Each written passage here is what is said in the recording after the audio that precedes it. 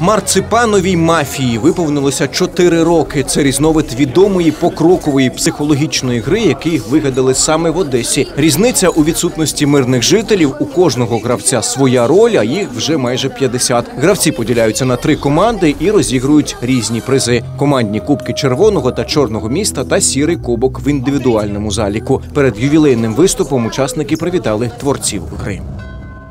Мы вас всегда поддерживаем, и мы очень рады, что вот у нас есть такое место, где мы можем всегда собираться. Это место не только, где можно получить эмоции, да, не только где а, можно просто поиграть. И вот такая вот креативная придумали такую игру. Спасибо. Спасибо большое. На протяжении 10 лет я играла в обычную мафию, где были мирные жители, и мне захотелось в какой-то момент, э, скажем так, э, сделать э, игроков более уверенными в ночных действиях. То есть э, каждую ночь э, игроки выполняют свои определенные действия, свойства, о ролях рассказывается перед игрой. У нас э, порядка 45 иг- э, ролей, 40 порядка 45 ролей, и э, роли постоянно дополняются. В классической мафии это просто мафия, доктор, путана, мирные жители, все.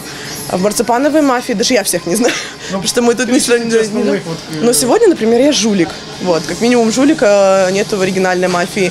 Сержант, комиссар, ну комиссар есть, но сержант добавляется. Также есть хакер, священник, призрак, а, ревнивец, очень много священник, невероятное количество персонажей. За чотири роки в проєкті, що розвиває логіку, взяли участь більше 10 тисяч людей. Є окремі заходи для дітей, починаючи з восьми років. На ювілейні вечори учасники самі готують собі костюми та кажуть, що такий формат допомагає підвищити комунікабельність. Эта игра захватывает, это игра коллективная, это игра, которая развивает логическое мышление и заставляет иногда очень активно думать. Призрак не имеет э, определенного цвета, он э, может э, красть роль любого из сидящих за столом. Вот. В принципе, непредсказуемая роль. Расскажи про свой костюм. Сам его делал или там покупал? Мама заказывал? помогала.